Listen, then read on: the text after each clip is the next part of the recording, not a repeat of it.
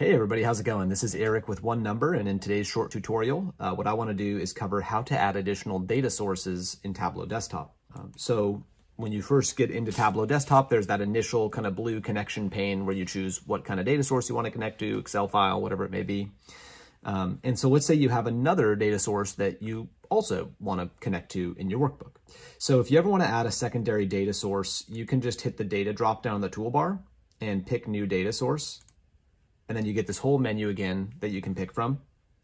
Or you can use my shortcut because I'm lazy.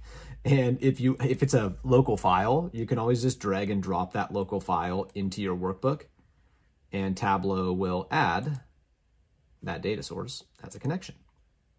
So in this case, I'm trying to put together a dashboard which shows me my top selling products um, across two different data sources, two different businesses. So this second worksheet with that new data will be top selling coffee chain. Uh, if I can spell correctly, products. All right, so going to coffee chain and I'll have my product and I'll have my sales.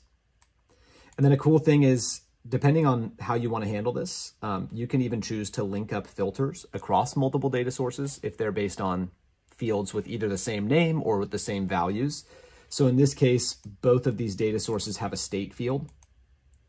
So if I want to have a single state filter, let me do this first. Let me go ahead and pull my coffee chain products into here. Just for a little bit of visual distinction, I'll make it a different color. And let's say I want to have one state filter so I could pick a state like California and it would update both of these worksheets. Uh, what I can do is I'm going to go back to the first worksheet go to the state filter, apply to worksheets, all using related data sources. And if I go over here, hey, well, this data source also has a state field and it also has a California value.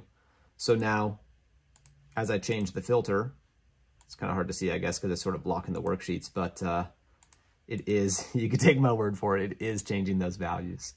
Um, and I guess I'll throw one more thing in there. If the, the field names aren't the same, if one of these was called state and one of these was called territory, there is a way through the data drop down in the toolbar, and I believe it would be edit blend relationships, um, where you could tell Tableau, hey, I need to add a custom relationship um, between state and territory or whatever they might be called.